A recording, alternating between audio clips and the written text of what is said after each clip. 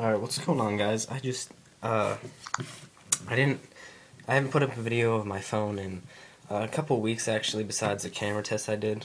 Uh, I think pretty much like a week ago, sorry, it's kind of glary right now.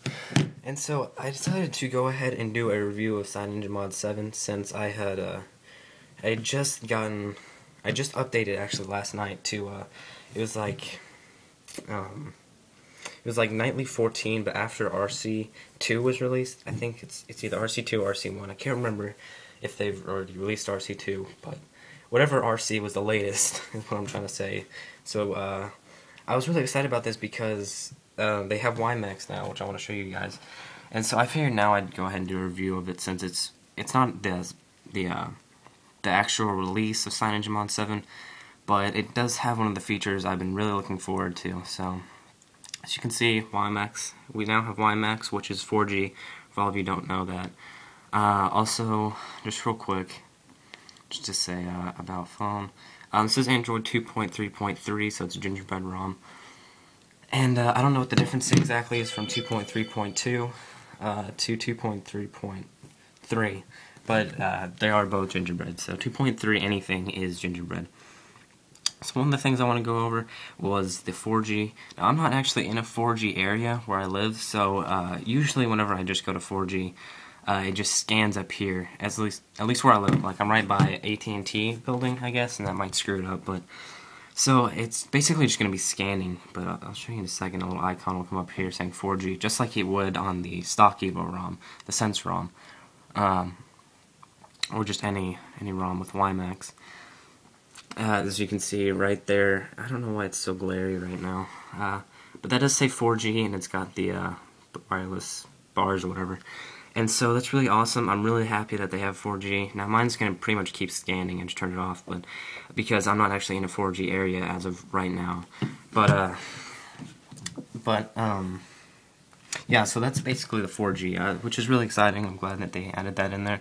Uh, considering I have an Evo, it was kind of really really sucky that they, uh, they didn't have 4G on the CyanogenMod, previous CyanogenMod ROMs. Um, the FM radio is working, a lot of stuff is working. Uh, you got your theme chooser right here if you want to change your theme. There's a couple, there's like three of them right now that they have, which is pretty cool. Uh, you got your terminal terminal emulator.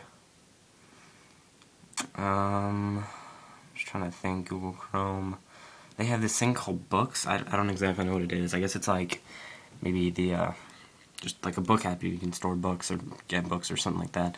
I'm not exactly sure what that is, but those are basically the, the things I want to talk about. Uh, as you can see, the, it's a really, really fast ROM. It's 2.3, so of course it's going to be faster than Froyo, which we all know was an amazing, amazing uh, ROM, or uh, what am I trying to say? Android version, I guess. And as you can see, it's super responsive. Every tap I hit on the screen, it reacts to it. So it's an extremely, extremely responsive ROM. It's super fast. Um, as far as the keyboard goes, I figured I'd go ahead and do this.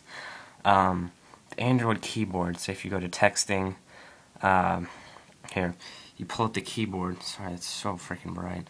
Uh, yeah, it does look a little bit different, but I, I really actually love it. Uh, it's really nice. Uh, you, of course, you can get swipe on it. One thing I did want to add to the uh, this the gingerbread thing.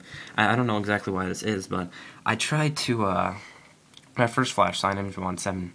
I tried to get the free wireless tether app that uh, that everybody's you know if you're rooted that's like the app to get. And for some reason, I can't actually get the wireless tether app. Uh, I can download it, but it never actually works. I can't connect to anything or it just doesn't work. So that is kind of a huge downside to it, but um, so you know that is kind of a bummer. But you can always go back to previous CyanogenMod ROMs if that's just what you need. So it's really not something I really quite need so much. So it's not really a big deal to me. I think it's really fast. The fact that they have 4G is just pretty much everything I need.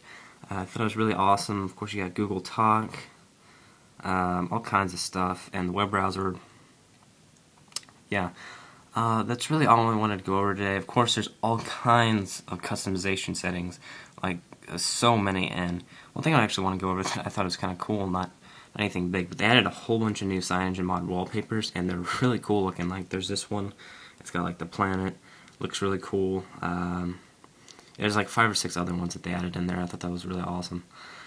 So uh, that's really it, guys. That's all I want to go over today.